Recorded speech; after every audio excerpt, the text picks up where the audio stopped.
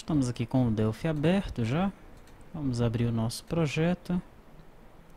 T2TIRP, fontes, contas a pagar. Vou abrir primeiro aqui é, a aplicação cliente. Né?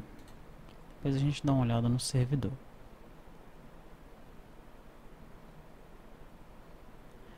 Muito bem.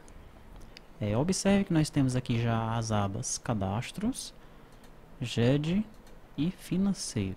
Tá? Dentro da aba financeiro nós criamos aqui três grupos. O grupo geral, aliás, dois grupos, né? o grupo geral e o grupo contas a pagar. O que é, que é esse grupo geral?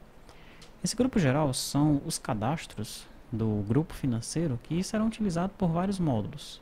Por exemplo, a natureza financeira, como eu já mencionei, ele vai ser utilizado não apenas pelo contas a pagar, vai ser usado pelo contas a receber também. Mesma coisa ocorre com o centro de resultado e o documento de origem. Né? Já no, no grupo contas a pagar estão aquelas telas que pertencem apenas ao módulo contas a pagar. Aí nós temos a tela tipo pagamento, status da parcela, lançamento a pagar e o pagamento da parcela. De onde é que vem esses ícones aqui? Esses ícones, como nós já vimos, eles estão na pasta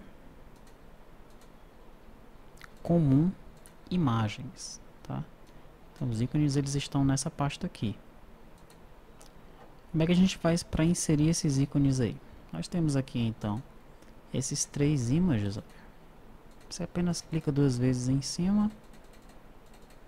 Aqui estão todos os ícones que são usados, todas as imagens que são usadas aí no sistema, tá? Clique em adicionar e aponta lá para o ícone, ok?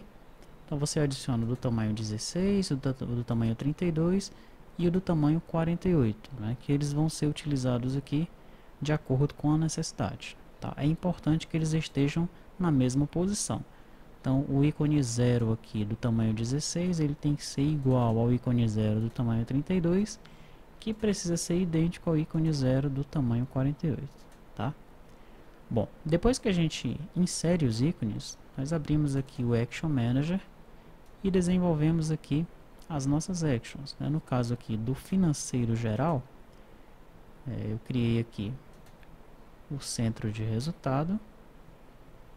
Tá? O nome da action é action centro resultado. Deixei esse, caption aqui, né? porque depois a gente pode alterar o caption aqui no ribbon, tá? Mas esse caption ele já poderia ser centro de resultado, não precisa ser assim não, tá? E a imagem, olha, eu aponto aqui para o índice 36, que foi a imagem que eu selecionei para o centro de resultado. ok? Natureza financeira, mesma coisa. Documento origem, mesma coisa. Né? Você cria aqui a action do documento origem, põe o caption para ela e aponta qual é a imagem do índice dela.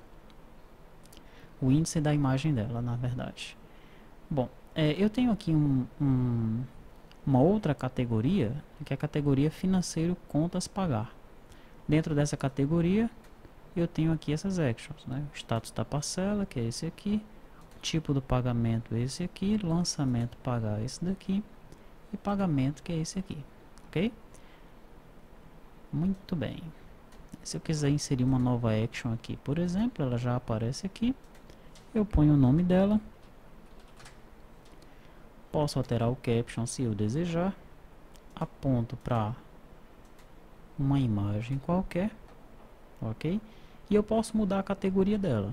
É, digamos que eu queira criar uma categoria contas a receber aqui. Como é que eu faço? É muito simples. Basta você vir aqui na categoria e alterar o nome. Ele já cria para você aqui a categoria contas a receber, tá? Para é, inserir é, essa action aqui, basta arrastar. Quando você arrasta a action, ela já vem para cá, tá? Como eu não quero essa action teste, eu vou excluí-lo daqui.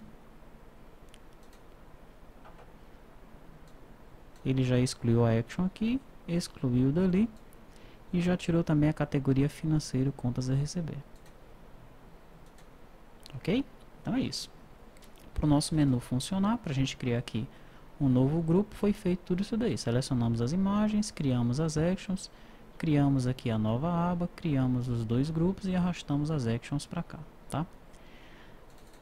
Dentro das actions, né, mais um detalhe, é que nós vinculamos aqui é, a chamada para o formulário. Né? Na verdade, o formulário ele vai se comportar como uma nova página aqui desse page list. Tá? Sempre vai aparecer aqui dentro dessa área. Isso já foi explicado no módulo anterior, né? nós não vamos entrar em muitos detalhes de como funciona aqui o menu em si, né? apenas para a gente ver como é que foi feita a parte aqui do bloco financeiro, tá bom?